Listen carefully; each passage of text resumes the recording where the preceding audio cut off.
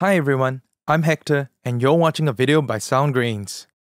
In today's video, we'll be using screen sets in Logic Pro 10 to speed up your workflow.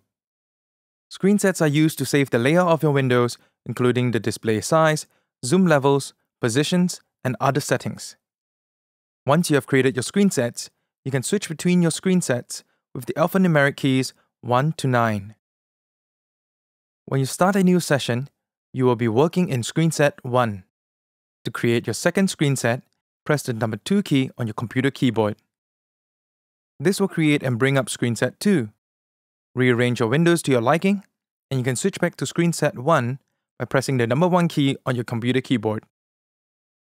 One useful screen set config is to have your main window on screen set 1 and the dedicated mixer window on screen set 2.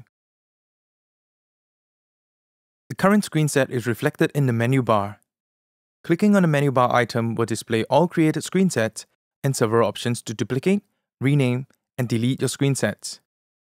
You can lock the current screen set to prevent unwanted changes during use.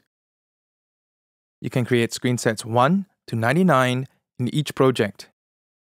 Recall screen sets 1 to 9 with the alphanumeric keys 1 to 9. Hold down the Control key when recalling screen sets that are double digits.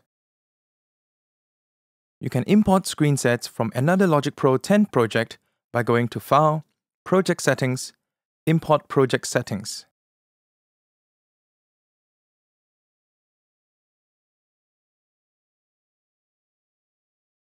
Here are some ideas for creating screen sets. Create a new project with your most used screen sets and save it as a template. Use this template for your new projects to save time creating screen sets with each new project. Save your project as a template by choosing File, Save as Template. Create screen sets as you work on your project. An example of a useful screen set would be to display your plugin windows for your vocal processing chain. This saves time opening each plugin window manually.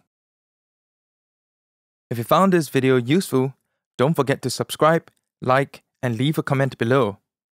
Tell us what you think of this video. Follow us on Twitter and Facebook for more news and updates. Links are in the description below.